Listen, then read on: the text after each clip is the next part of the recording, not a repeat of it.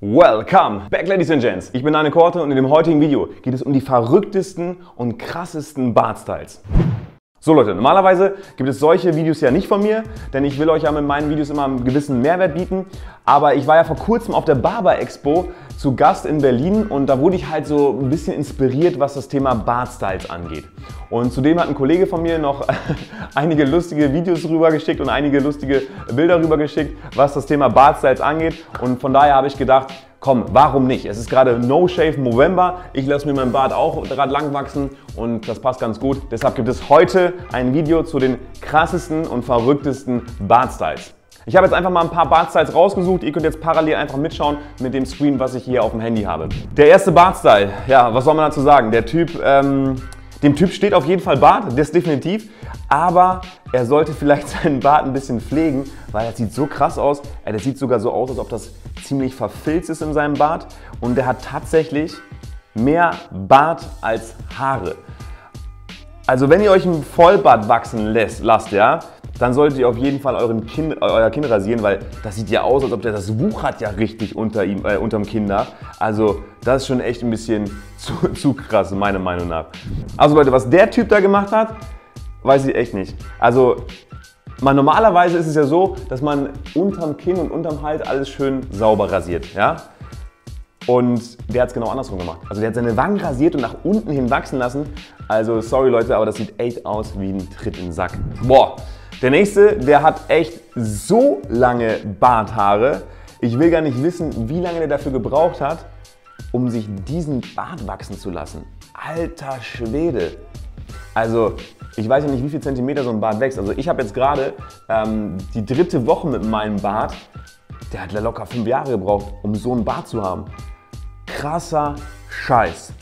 Echt krasser Scheiß. Aber so ein Bart kann man meiner Meinung nach auch gar nicht mehr pflegen. Also ist äh, sehr unhygienisch, aber gut, wem es gefällt. Der Typ hat eigentlich tatsächlich so einen langen Bart, dass man sogar den Bart flechten kann. Richtig heftige Scheiße. Der nächste Typ ist, glaube ich, irgendein äh, super bekannter Football-Player. Keine Ahnung. Ich kenne ihn persönlich nicht und ich kenne mich im Football auch gar nicht aus. Aber der hat auf jeden Fall einen krassen Bart, ja. Krasse Bart, zu, also krassen Bart zur Frisur, ähm, überall diese äh, Sachen reingeritzt. Also das sieht echt heavy aus. Auf jeden Fall ein Alleinstellungsmerkmal.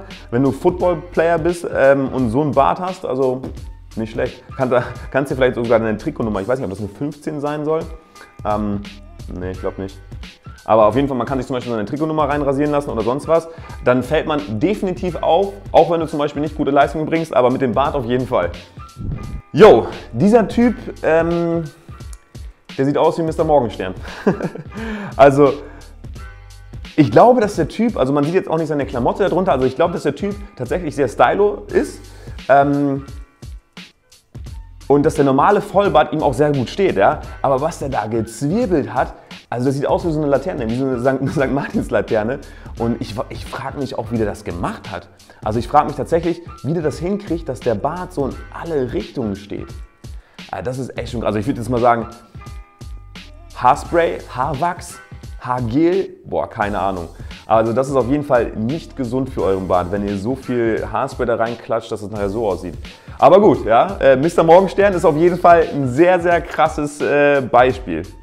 Der nächste, der hat sich auch sehr viel Mühe gegeben, geht ähnlich in den Look wie der Mr. Morgenstern. Ja? Der hat sich dreimal solche Dinger hier reingezwirbelt, nach oben hin, so ein Schnurrbart, habe ich auch noch nie gesehen vorher. Und dann noch Löcher da rein, also ein fettes Loch unten und dann noch an den Seiten zwei. Also ich frage mich, wie lange das dauert. Also als ich noch kurze Haare hatte, habe ich locker so 10 bis 15 Minuten für meine Haare gebraucht. Ja, so standardmäßig. Aber wie lange braucht der Typ, für seinen Bart. Das ist ja krass. Also wenn ich den Typen äh, in der Bahn sitzen sehen würde, ja, würde ich, oder eine Schule gehabt hätte, das wäre auch lustig gewesen. Ich hätte dann wahrscheinlich mal versucht, so ein Spuckrohr zu nehmen und immer mit diesem Spuckrohr durch dieses Loch zu schießen. Also keine Ahnung, was mit dem Style los ist, ist auf jeden Fall äh, ziemlich crazy. Jo, der nächste, ich weiß nicht, ob das fake ist oder ob das real ist. Also wenn man den, äh, also wenn ich das jetzt als erstes mal sehe, dann äh, erinnert der Typ mich irgendwie an Hey Arnold, an den Football-Schädel. Ja? Der geht ja auch so in die, in die Breite. Ähm, aber das soll wahrscheinlich so ein Kaktus sein oder so ein Stiel könnte das auch sein. Ja? ey, keine Ahnung. Also ich weiß auch nicht, ob das, ob das fake ist oder ob das real ist, aber das sieht schon, das ist schon heftig, Alter. das ist schon echt heftig. Aber das muss wahrscheinlich, so wie es ausschaut, muss es tatsächlich real sein. Weil wenn man nach hinten am Ohr schaut, da hat er ja auch Bart. Also es, es scheint anscheinend echt real zu sein. Also von der Farbe her auf jeden Fall. Also das ist echt schon crazy shit. Jo, der nächste geht in eine ganz andere Richtung. Der hat tatsächlich so viele Nackenhaare, dass er seine Nackenhaare bis zu seinem Bart verbunden hat. Also mir ist es auch beim, beim zweiten Mal erst ähm, aufgefallen, dass, also das ist echt heftig. Also der, der Typ hat eigentlich einen ganz niceen Bart, also sehr gepflegt, auch einen coolen Fade drin. Aber dass er so viele Nackenhaare hat, dass er das verbinden kann mit seinem richtigen Bart, ist schon heftig. Also meine türkischen Freunde, ja, die haben auch alle sehr viel Brustbehaarung, Nackenbehaarung und Co. Also ich könnte nicht mal ansatzweise so, sowas machen lassen. Äh, also crazy, crazy, crazy. also was dieser Typ hier, was dieser Typ sich dabei gedacht hat, äh, weiß ich nicht. Also der hat auf jeden Fall krasse Augenbrauen.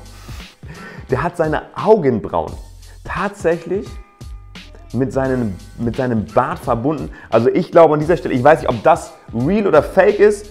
Ähm, also wenn das real ist, das ist schon echt heftig. Also das ist schon, das ist das heftigste, glaube ich, was ich bis dato gesehen habe.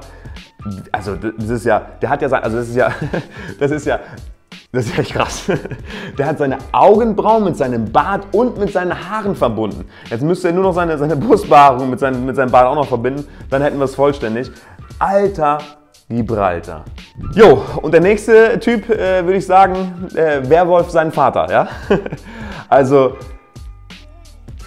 also, ich bin sprachlos, Leute. Also, was, was soll man dazu sagen? Also, der Typ, also, erstmal hat er einen sehr ungepflegten Bart, was schon mal meiner Meinung nach gar nicht geht. Aber wie kannst du dir denn so einen Bart stehen lassen? Ja? Also, das vorne stehen lassen, eine, eine eine Spur da rein rasieren und das auch nochmal nicht mal gepflegt, dann nochmal die Haare lang wachsen lassen und man sieht, also man sieht an den Ohren auch, dass der, ähm, die Haare ja auch alles mit dem Bart zusammengewachsen sind. Wow, wie gruselig, ey. ähm, ja, krass. Und seine, seine, seine Brustbehaarung klebt auch schon an seinem Bart dran. Krass. Krass. Manchmal denke ich, es gibt Menschen, die gibt es gar nicht. So, und zu guter Letzt haben wir den Kollegen hier, ja, der, der toppt alles einfach, der toppt einfach alles. Ja. Also wenn ihr den Typen am Strand seht, ja, also ich, ich würde mich vor lauter Lachen auf die Erde legen und mir in die Hose pinkeln. Ja. Also wenn ihr diesen Typen am Strand sehen würdet, ja, dann würde ich gar nicht mehr klarkommen. Zieht euch das mal rein. Seine Brustbehaarung mit seinem Bart verbunden, Und das Geilste ist noch, Leute, guck mal. Seine Achseln, das wäre jetzt, wär jetzt der Oberhammer gewesen, hätte er seine Achselhaare mit seinen Brusthaaren und seinen Barthaaren verbunden. Okay, Leute, ähm, wenn, wenn ihr dazu mal irgendwann ein Foto seht, sagt bitte gerne Bescheid. Ja, Leute, schreibt mal gerne in die Kommentare rein, welchen Bart ihr persönlich am krassesten fandet. Also, ich fand, da waren jetzt schon echt mega krasse äh, Beispiele mit dabei, wie man es am besten nicht machen soll. Leute, wenn ihr euch einen Bart wachsen lasst, dann ähm, macht es so, dass es zu eurer Gesichtsform passt, dann pflegt euren Bart gut, rasiert eure Konturen, äh, macht alles immer schön ordentlich. So sollte es auf jeden Fall sein. Kommen noch zum heutigen Shoutout. Grüße gehen raus an Alex Senning. Alex, vielen Dank für deinen Support und vielen Dank für den Input, dieses Video hier zu machen. Und wenn du auch mal gegrüßt werden möchtest, schick mir einfach eine WhatsApp-Nachricht auf mein Community-Phone. So Leute, ich hoffe, euch hat das Video gefallen. Es war diesmal was ganz anderes, aber muss auch mal sein. Ja? In diesem Sinne wünsche ich euch noch einen wundervollen Tag. Macht's gut, haut rein, Peace out.